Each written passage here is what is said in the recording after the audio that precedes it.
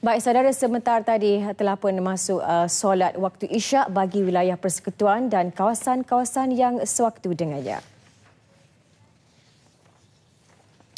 Baik dalam pada itu Datuk Rahman memberitahu kerajaan bercadang menggunakan sistem bil untuk pengurusan sisa pepejal bagi setap isu rumah pada masa akan datang. Tindakan itu bagi memastikan rakyat bertanggungjawab dalam mengurangkan penggunaan sisa pepejal selain membantu pihak berkuasa tempatan melaksanakan sistem pengurusan sisa pepejal terbaik.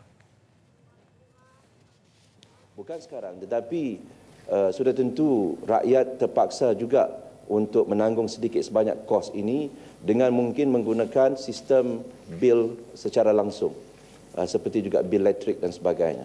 Maknanya uh, kita akan memberi uh, kita akan menggunakan mekanisme di mana bil sampah sarap yang di sorry sisa pepejal yang dipungut ini yang dikutip ini akan terus dibilkan kepada tuan rumah dan isi rumah. dengan cara ini kita boleh memberikan tanggungjawab yang lebih besar kepada rakyat. Pada masa sama, Kementerian Terbabit akan melaksanakan kaedah lebih intensif supaya pengurusan sisa pepejal lebih seragam dan tersusun.